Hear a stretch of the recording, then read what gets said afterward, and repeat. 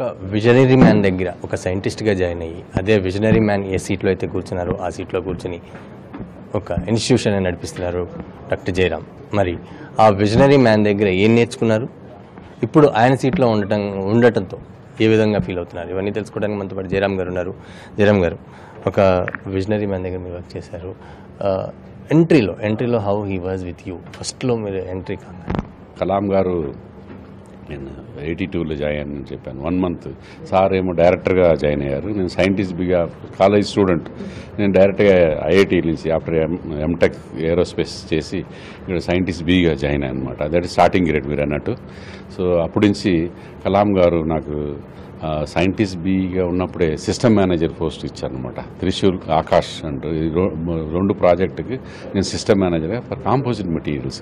నేను specialisation even though aerospace material చేసిన నా స్పెషలైజేషన్ కాంపోజిట్ మెటీరియల్స్. బీటెక్ ఆ రోజుల్లో కాంపోజిట్ మెటీరియల్ ఫెసిలిటీస్ లేవు ఎక్కడ ఈవెన్ డిజైన్ క్యాపబిలిటీస్ కూడా లేదనమాట నేను కాంపోజిట్ స్పెషలైజేషన్ చేశాను.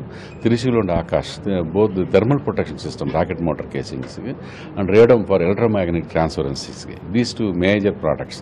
So Kalam garu and IAR propulsion integral rocket ramjet propulsion అని చెప్పి మేబీ మనం fourth country or fifth country in the world to have ramjet technologies nineteen eighty టూలో ఆకాష్ మిసైల్ సిస్టమ్ కోసం.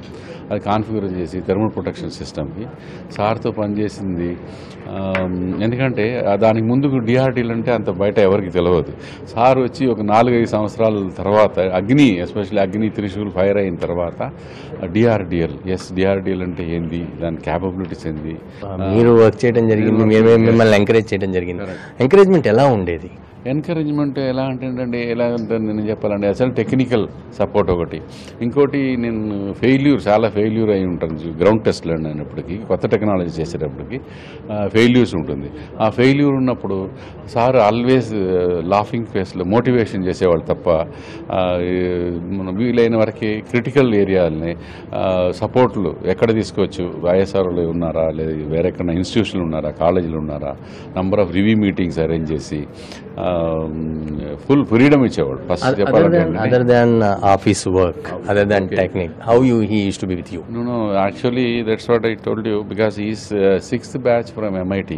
నేనేమో twenty ninth batch so that association అనేది uh, చెప్పలేను. ఎందుకంటే నేను క్వార్టర్స్ ఎయిటీ ఫోర్కి వచ్చాను.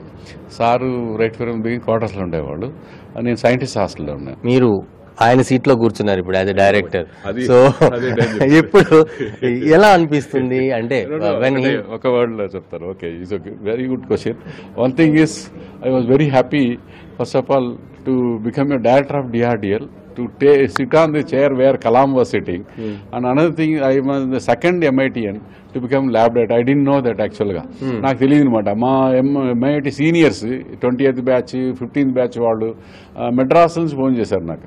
ఫోన్ చేసి సార్ కంగ్రాచులేషన్ జయరామన్ ఏమైందంటే లేలే you you are the second MITian to become the history of DRDL nineteen fifty eight నుంచి కలాం గారు ఫస్ట్ ఎంఐటిఎన్ నేను second MITian to become lab director ఏదైనా విజన్ విజన్ గురించి తను ఎప్పుడు ఇన్స్పైర్ ఇన్స్పిరేషన్ తనకు ఉంటుందని కూడా డైరెక్ట్ చెప్పడం జరుగుతుంది. ఏదేమైనప్పటికీ ఆయన్ని మిస్ అయ్యాము అని కూడా జయరామ్ అంటున్నారు.